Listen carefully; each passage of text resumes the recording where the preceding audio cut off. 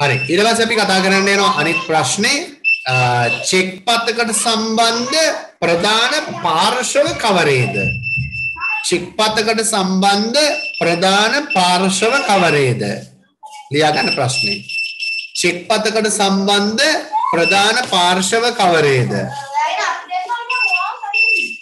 Check පතකට සම්බන්ධ check පතකට සම්බන්ධ ඕන චෙක් පතකට සම්බන්ධ වන ප්‍රධාන පාර්ශව කවරේද දැන් ටියුට් එක තිබ්බනම් දෙන්න තිබුණා. මගේ ගාව නම් ටියුට් එක තියෙනවා. ඒකේ චෙක් පතක ආකෘති අඳින්නත් මම ළමයින්ට ඉඩ තියලා තියෙන මෙන්න මෙහෙම පෙට්ටියක් ඒක ඇඳ ගන්න ලස්සනට ටියුට් එක දෙන්න විදියක් නැහැනේ. එතකොට දැන් කතා කරන්න යන්නේ චෙක් පතකට සම්බන්ධ වන ප්‍රධාන පාර්ශව මේක නම් තියෙන තුන කවරේද කියලා. එතකොට චෙක් පතකට සම්බන්ධ වන ප්‍රධාන ප්‍රධාන පාර්ශව කවරේද කියලා මම ප්‍රශ්නේ හැව්වේ. එතකොට චෙක් පතකට සම්බන්ධ වන ප්‍රධාන පාර්ශව කවරේද? චෙක් පතකට සම්බන්ධ වන ප්‍රධාන පාර්ශව කවරේද? චෙක් පතකට සම්බන්ධ වන ප්‍රධාන පාර්ශව තුනයි ළමයි ඉන්නේ. තුන් දෙනයි. මෙතන ඉන්නවා තුන් දෙනාම. චෙක් පතකට සම්බන්ධ වන ප්‍රධාන පාර්ශව තුනයි. අපි ඉස්සලම කතා කරන්නේ මෙයාව. මෙන්න මේ මෙන්න මෙතන ඉන්නේ මම රවුන්ඩ් කරනවා. හරිද? මෙන්න පළවෙනි එක්කෙනා. හරි? මෙන්න මෙතන ඉන්නවා දෙවනි පාර්ශවයේ චෙක් පතකට සම්බන්ධ. මෙන්න මෙයා තමයි තුන්වෙනි පාර්ශවය. මෙහෙම පිළිවෙලක් නැහැ මේ මම කැමති විදිය ගත්තේ. එතකොට චෙක් පතකට සම්බන්ධ පාර්ශව තුන. ඒ හැර වෙන පාර්ශව නැහැනේ මෙතන තියෙන දින, මෙතන තියෙන ගාන, මෙතන ගෙවන, මෙතන තමයි කෙනෙක් අස්සම් කරලා තියෙන, මෙතන බැංකුවේ නම, මේ මෙතන කොහමද දෙන්නෙක්ගේ නම් දෙකක් තියෙන, මෙතනත් නමක් නේ තියෙන්නේ. චෙක් පතකට සම්බන්ධ පාර්ශව තුනයි. එතකොට එක කියලා දාලා ලියන්න. එක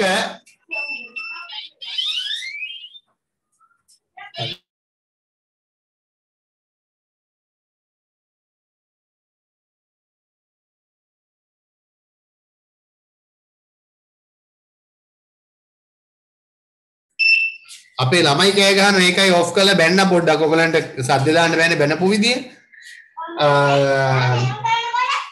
එක ලියා ගන්න මෙන්න මේ මේ එතකොට මේ මෙතන අස්සම් කරන කෙනා තමයි ළමයි මේ ටික පුරවන්නේ දිනේ දාන්නේ නම ලියන්නේ වටිනාකම අකුරින් ලියලා අස්සම් කරනවා. නැත්තම් කවුරු හරි ලියලා දෙන එකක් Tamanට අස්සම් කරන්නත් පුළුවන්.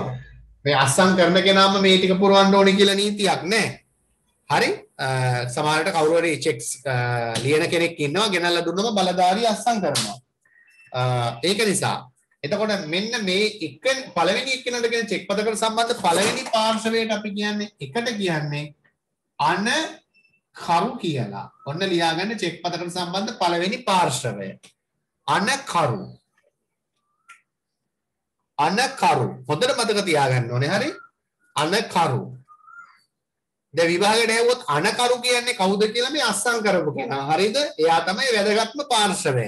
අපි කියනවා අත්සනින්තොර චෙක් පතක් අහන්දින් හේෂාන්. අත්සනින්තොර චෙක් පතක් ඔගොල්ලෝ හිතන්නේ මොකද්ද? අස්සම් කරේ නැත්තම් අස්සනින්තොර චෙක් පතක් හිස් කඩදාසියක් පමණි. අනිත් ඔක්කොම තිබ්බත් වැඩන්නේ අස්සම් කරේ නැත්තම් සල්ලි ගන්න බෑ. එතකොට මේ අස්සම් කරන කෙනාට තමයි අපි කියන්නේ අන කරු කියලා. එතකොට කවුද අනකරු කියන්නේ? චෙක් පතක් ලියා මෙන්න මේවා ටික පුරවලා අත්සන් කරන කෙනා. චෙක් පතක් ලියා අත්සන් කරන පාර්ශවයට අපි කියනවා අන කරු කියලා. ලියමුද? චූටි නින ලකුණක් දාලා ලියන්න. චෙක් පතක් ලියා. ලියා කියන්නේ මේ දිනේ මේ ටික පුරවන කෙනා. චෙක් පතක් ලියා චෙක් පතක් ලියා අත්සන් කරන පාර්ශවය චෙක් පතක් ලියා අත්සන් කරන පාර්ශවය අත්සන් කරන පාර්ශවය අනකරුවේ අනකරුවේ අනකරුවේ. නැත්තම් මෙහෙම කියන්නත් පුළුවන්. කෙටියෙන් කියන්න පුළුවන් කවුද මෙයා? මෙයා නේද බැංකුවේ ජංගම ගිණුම විවෘත කරපු කෙනා. මෙයාගේ ජංගම ගිණුමෙන් නේද ලංකා බැංකුවේ තියෙන මේ සල්ලි ටික මෙයාට ගෙවන්නේ. මෙයාට අපි ජංගම ගිණුම් හිමියා කියලත් කියනවා. ලියන්න එතරම් නැතහොත් නැතහොත් එතන තමයි නැතහොත් කමන්නේ දෙක ඊට පස්සේ ලියන්න පාත් කරලා. දෙක නෑනේ දෙක කපලා එතන ලියලා පස්සේ තුන දෙක කරගන්න.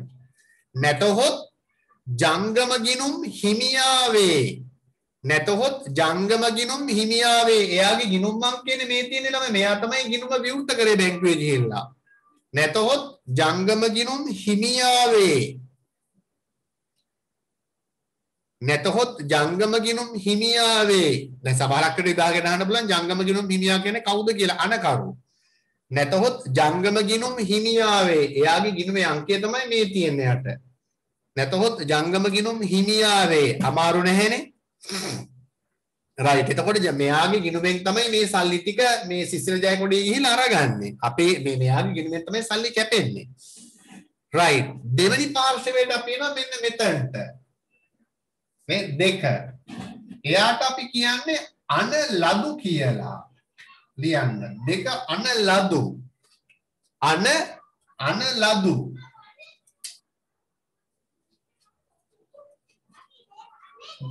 අපි දන්නවනේ මේ ලංකා බැංකුව කියන්නේ මොකද්ද? වාණිජ බැංකුවක්නේ. ඒ කියන්නේ මෙන්න මේ අනකරුගේ ගිණුම තියෙන බැංකුවනේ. නේද? අනකරුගේ ජංගම ගිණුම මෙයානේ ජංගම ගිණුම හිමියා. මෙයාගේ ගිණුම තියෙන බැංකුව. නේද? ඒ කියන්නේ ජංගම ගිණුම විවෘත කරන ලද වාණිජ බැංකුව තමයි අන ලදු කියලා කියන්නේ. ජංගම ගිණුම විවෘත කරන ලද වාණිජ බැංකුවට අපි කියනවා අන ලදු කියලා. ජංගම ගිණුම විවෘත කරන ලද වාණිජ බැංකුව ලියන්න. ජංගම ගිණුම විවෘත කරන ලද ජංගම ගිණුම විවෘත කරන ලද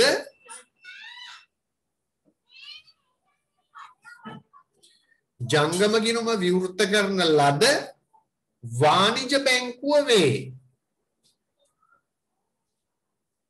ජංගම ගිණුම විවෘත කරන ලද වාණිජ බැංකුව වේ. එතකොට සිසිර ජයකොඩි ඔය චෙක් එක අරගෙන යන්න ඕනේ සල්ලි ගන්න ඕන නම් එදාම ලංකා බැංකුවට. ඒකට හේතුව ලංකා බැංකුවේ තමයි මම නෙමෙයි කිය අස්සම් කරලා තින්නේ මගේ ගිණුම විවෘත කරලා තියෙන්නේ. වෙන බැංකුවකට ගියොත් එදාම සල්ලි ගන්න බෑ ළමයි. දැන් ඒකත් හොඳට තේරුම් ගන්න ඕනේ. හරි? ලිව්වද ජංගම ගිණුම විවෘත කරන ලද වාණිජ බැංකුව ලංකා බැංකුව කියන වාණිජ බැංකුවක් කියලා දන්නවනේ. රජයේ වාණිජ බැංකුව දෙකයි තියෙන්නේ. ලංකා බැංකුව සහ මහජන බැංකුව තමයි රජයේ වාණිජ බැංකුව මම එදා ලියුවා. අනිත් ඒවා ටික දුන්නා පෞද්ගලික commercial Hatton national Pan Asia පෞද්ගලික අංශයේ වාණිජ බැංකුව. මේ ඒක පැහැදිලි ඇති. එතකොට මම මෙතන අස්සම් කරලා තියෙන ඇත්තම මගේ අස්සන තියෙන කෙටි අක්ෂණ. මගේ අස්සන මේ තියෙන්නේ. එතකොට සිසිර ජයකොඩීට එදාම සල්ලි ගන්න ඕනේ නම් ලංකා බැංකුවට යන්න ඕනේ ඕනම ශාඛාවකට ගිහිල්ලා මේ චෙක් එක ඉදිරිපත් කරලා සල්ලි ගන්න පුළුවන්. හැබැයි වෙන බැංකුවකට ගියොත් හිතන්නකෝ සිසිර ජයකොඩි කමර්ෂල් බැංකුවට ගිහිල්ලා මේ මේ චෙක් එකට සල්ලි එදාම ගන්න බෑ. දැන් සිසිර ජයකොඩිගේ ගිණුම තියෙන්නේ සමහරක් වෙලාවට කමර්ෂල් බැංකුවේ. මම කියන දේ හොඳට අහගන්න ඕනේ. දැන් මම මගේ ගිණුම ලංකා බැංකුවේ තියෙන්නේ කියලා සිසිර ජයකොඩිගේ ගිණුමත් ජංගම ගිණුමත් ලංකා බැංකුවේ තියෙන්න ඕනේ නැහනේ. සිසිර ජයකොඩියට පුළුවන් කමර්ෂල් බැංකුවේ එයාගේ ගිණුම විවෘත කරන්න කියලා. කමර්ෂල් බැංකුවත් වාණිජ බැංකුවන්නේ. එතකොට සිසිර ජයකොඩියට ඕන නම් මේ චෙක් එක කමර්ෂල් බැංකුවට අරගෙන ගිහිල්ලා දෙන්නත් පුළුවන්. හැබැයි එදාම සල්ලි ගන්න බෑ.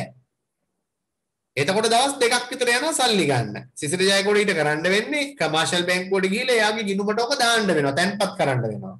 හැබැයි එතකොට එදාම සල්ලි ගන්න බෑ.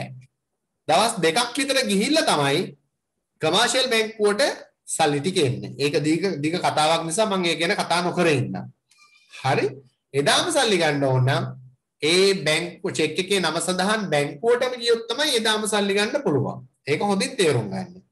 හරි? රයිට්. ජංගම ගිණුම විවෘත කරන ලද වාණිජ බැංකුව වේ. නැත්තම් මෙහෙම කියන්නත් පුළුවන්. ඇයි අන ලදු කියන්නේ? ඇයි අන ලදු කියන්නේ හේෂාන්? අන ලදු කියන්නේ කවුරු හරි කරන අනක් ලබන කෙනා නිසා. එතකොට මෙන්න මෙහෙම කියන්නත් පුළුවන් අන ලදුට චෙක් පතක් මගින් කරන විධානය ලබන පාර්ශවය කියලා කියන්නත් පුළුවන්. ඇයි දැන් සිසිල් ජයකොඩි ගිහිල්ලා මේ චෙක් එක ඉදිරිපත් කරනවානේ ලංකා බැංකුවට නේ සිසිල් ජයකොඩි මේ චෙක් එක අරන් ගිහලා ලංකා බැංකුවට තමයි ඉදිරිපත් කරන්නේ. කටෙන් සල්ලි ඉල්ලන්න ඕනේද? නෑ. මෙතන තියෙනවානේ ගෙවණු කියලා සිසිල් ජයකොඩිට එතකොට සිසිල් ජයකොඩිගේ ඩෙන්ටිටි කිල්ලයි බැංකුවෙන් බලයි සිසිල් ජයකොඩි ඉන්නේ මෙතන තියෙනවානේ උට ගෙවන්න කියලා එතකොට ගෙවනවා එතකොට අනලදු ඕනනම් නිර්වචනය කරන්න පුළුවන් චෙක් පතක් මගින් කරන විධානය මෙතන තියෙනවනේ ගෙවණු කියලා. ලබන පාර්ශවය කියලා කියන්නත් පුළුවන්. නේද? මේ චෙක් එක සිසිල් ජයකොඩි බැංකුවට දීපු ගමන් බැංකුවට කියනවා මම මේකට ගෙවන්න කියලා ගෙවනු කියලා. එහෙම කියන්නත් පුළුවන්. හරි? ඔහොම ලිව්වත් ඇති. හරි. අපි යන් එතකොට තුන්වෙනි පාර්ශවය කවුද? මෙන්න මෙයා තුන්වෙනි එක්කෙනා. මෙයාට අපි කියන්නේ තුන ආදායකයා කියලා. ආදායකයා. හරියට ලියා ගන්න ඕනේ ආදායකයා. බෝඩ් එක පේනවා මම හිතන්නේ පැහැදිලිව. ආදායකයා. අනකරු අනලදු ආදායකයා තමයි මෙතන ඉන්නේ. ආදායකය මතක තියාගන්නත් ලේසි. ඔය 153000 ලැබෙන්නේ යාටනේ. එතකොට ඕක නිකන් ආදායම කියලා හිතන්නත් පුළුවන්. ආදායකයා. එතකොට ආදායකයා කියලා කියන්නේ චෙක් පතේ සඳහන් වටිනාකම ලැබීමට හිමිකම ඇති පාර්ශවය. අපි කියනවා ආදායකයා කියලා. නේද? චෙක් පතේ සඳහන් වටිනාකම ලබා ගන්න අයිතිය තියෙන සිසිරජය කොඩීටනේ. චෙක් පතේ සඳහන් වටිනාකම ලැබීමට හිමිකම ඇති පාර්ශවයට අපි කියනවා ආදායකයා කියලා. ලියමු. චෙක් පතේ සඳහන් වටිනාකම චෙක්පතේ සඳහන් වටිනාකම චෙක්පතේ සඳහන් වටිනාකම චෙක්පතේ සඳහන් වටිනාකම ලැබීමට හිමිකම ඇති පාර්ශවය වේ. චෙක්පතේ සඳහන් වටිනාකම ලැබීමට හිමිකම ඇති පාර්ශවය වේ.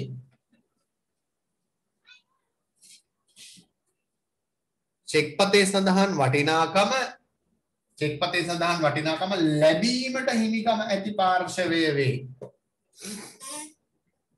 ලැබීමට හිමිකම ඇති පාර්ශවය වේ. හරිනේ එතකොට චෙක්පතකට සම්බන්ධ පාර්ශව තුනයි අනකරු චෙක් එක අස්සම් කරන කෙනා ලියලා නැත්තම් ජංගම ගිණුම් හිමියා ගිණුම විවෘත කරන කෙනා අන ලදු ඒ කියන්නේ වාණිජ බැංකුව ජංගම ගිණුම විවෘත කරලා තියෙන අනකරු ආදායකය කියලා කියන්නේ වටිනාකම ලැබීමට හිමිකම ඇති පාර්ශවය.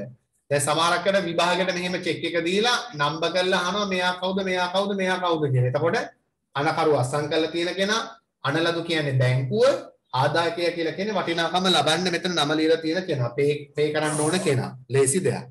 එච්චර අමාරු දෙයක් නෙමෙයි. හරි? ඊට පස්සේ අපි යනවා අනිත් ප්‍රශ්නෙට. ඒ ප්‍රශ්නේ සම්පූර්ණයෙන්ම අපි කරලා ඉවරයි. අපි ලියාගමු අනිත් ප්‍රශ්නේ මෙන්න මෙහෙම. චෙක් පතක මූලික චෙක් පතක මූලිකාංග චෙක් පතක මූලිකාංග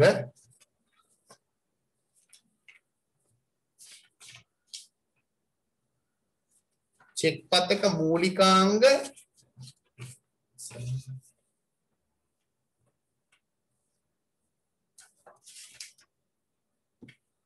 සඳහන් කරන්න. චෙක්පතක මූලිකාංග සඳහන් කරන්න. තියෙන තියෙන මේ චෙක්පතක මූලිකාංග සඳහන් කරන්න. කොහමද කියන්නේ? චෙක්පතක මූලිකාංග සඳහන් කරන්න. නැත්නම් අපි කියන චෙක්පතක අනිවාර්යෙන්ම තිබිය යුතු මූලිකාංග කවරේද? චෙක්පතක මූලිකාංග සඳහන් කරන්න. එතකොට සඳහන් කරන්න දෙයක් නැහැ බෝඩ් එකේ පේනවා චෙක් පතක මූලිකාංග 8ම සඳහන් කරලා තියෙන්නේ මම මෙතන. දැන් විභාගයට කිව්වොත් චෙක් පතක මූලිකාංග කවරේද නැත්නම් සඳහන් කරන්න කියලා ලියන්න වෙනවා ඕගලන්ට. අඳින්න ඕනේ නැහැ චෙක් එක. එතකොට චෙක් පතක මූලිකාංග සඳහන් කරන්න කිව්වොත් අපි ලියමු එහෙනම්. දාන්න ඉස්සලම 1 එක චෙක් පතක මූලිකාංග සඳහන් කරන්න එක මොකක්ද එක මොකක්ද එක? චෙක් පත ලියූ දිනය ලියන්න එක. චෙක් පතක මූලිකාංගවල පළවෙනි එක තමයි චෙක් පත ලියූ දිනය මේ තියෙන්නේ එක චෙක් පත ලියූ දිනය. ඒකනේ මේ තියෙන්නේ චෙක් පත ලියපු දිනය. චෙක් පත ලියූ දිනය. ඒක තමයි අපි උඩින්ම නම්බර් එක කියලා ඩේට් කියලා දාලා තින්නේ මේ චෙක් පත ලියපු දිනය. චෙක් පත ලියූ දිනය. මේ දිනයට තව සිංහල නමක් තියෙනවා. හරිද? දැන් ඔයගොල්ලෝ ලිව්වේ චෙක් පත ලියූ දිනයනේ වරහන් ඇතුලේ ලියාගෙන දිනයට කියනවා අපි දාතම කියලා. ඒ වචනෙත් ලියාගන්න සමාන පදයක්. දිනයට කියනවා දාතම කියලා. සිංහල කරන ගුරුවරයෙක්ගෙන් අහලා බලන්නකෝ දිනයට සමාන පදයක්. දිනයට කියනවා දාත තයන්න. දාතම කියලා. චෙක්පතලියු දිනේ නැත්තම් දාතම. එක. දෙක දන්නවනේ දැන් කවුද කියලා මේ? කවුද මේ? කවුද මේ? මේ තුන් දෙනාගෙන් කවුද? මේ නම තියෙන්නේ? මේ කවුද මේ තුන් දෙනාගෙන්? අනකරවන ලදු ආදායකයා? ආදායකයාගේ මොකද්ද මේ තියෙන්නේ? ආදායකයාගේ මොකද්ද මේ තියෙන්නේ? නම. දෙවනි මූලිකාංගය ලියන්න දෙක.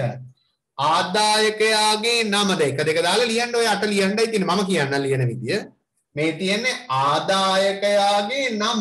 දැන් දන්නේ කියලා කියන්න බෑ. ආදායකයාගේ නම. දෙක හරියනේ එතකොට ආදායකයාගේ නම. තුන මෙතනනේ තියෙන්නේ නේද? හෝ රැගෙන එන්නාට යන පදය. ලියන්න තුන්වෙනි එක. අපේ අපි චෙක්පතක මූලිකාංග ටික ලියලා පෙන්නනවා. තුන්වෙනි එක හෝ රැගෙන එන්නාට යන පදය. හෝ රැගෙන එන්නාට යන පදය. ඒක print කරලාමයි තියෙන්නේ ළමයි. හෝ රැගෙන එන්නාට යන පදය. හෝ රැගෙන එන්නාට යන පදය. හතරේ තැන් දෙකක තියෙනවා පේනවා ඇති. හතරවෙනි කාරණාව චෙක්පතේ වටිනාකම අකුරින් හා ඉලක්කමින් චෙක්පතේ වටිනාකම අකුරින් හා ඉලක්කමින්. ඔය දෙක වෙනස් වුණොත් චෙක්පතට ගෙවන්නේ හරෝලෙවනවා රිටර්න් කරනවා අගරු කරනවා. චෙක්පතේ වටිනාකම අකුරින් හා ඉලක්කමින්. හතරවෙනි මූලිකාංගය. චෙක්පතේ වටිනාකම අකුරින් හා ඉලක්කමින්.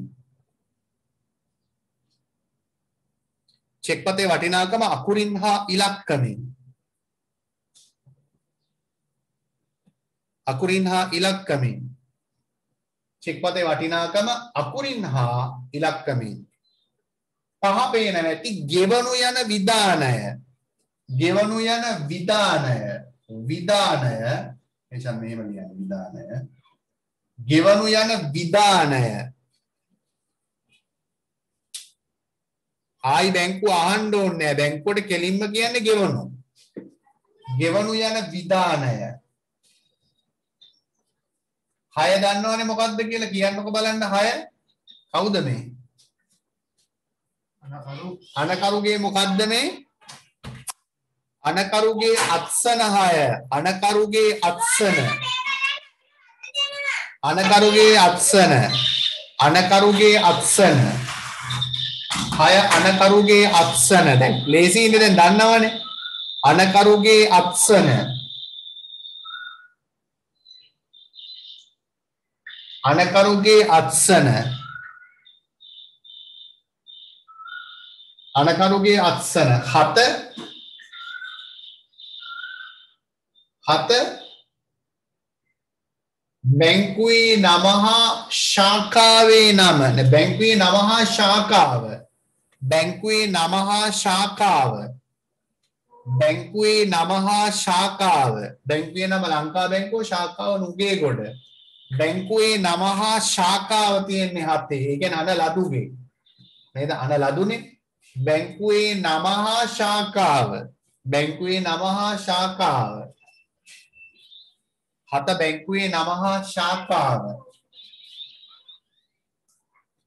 අට MICR කලාපය. අට MICR කලාපය. 8 MICR කලාපය. MICR කලාපය. එතකොට හරිනේ චෙක් පතක මූලිකාංග 8යි දැන් මං හිතන්නේ චෙක් පතක් ඇඳගන්න බැරි වෙයි කියලා. නේද? පාර්ශව තුන දන්නවා අනකරු කවුද අනලදු කවුද ආදායකයා කවුද කියලා. මූලිකාංග 8 එන ටික දන්නවා.